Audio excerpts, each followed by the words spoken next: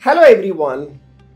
Do you know what are the cardiovascular changes that occur during pregnancy?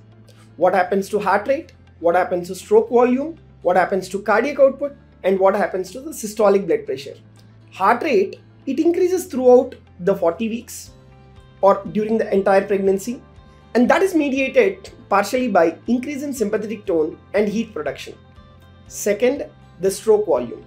Stroke volume also continuously increases until the third trimester.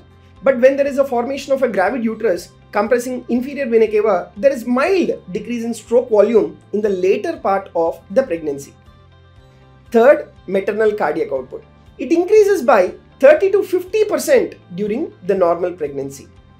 And what happens to the systolic blood pressure? Systolic blood pressure during the first half of the pregnancy, there is slight fall during the first half and later it gets normalized.